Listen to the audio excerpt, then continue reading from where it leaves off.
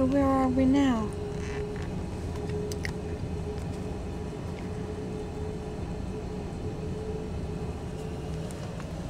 Pretty big park.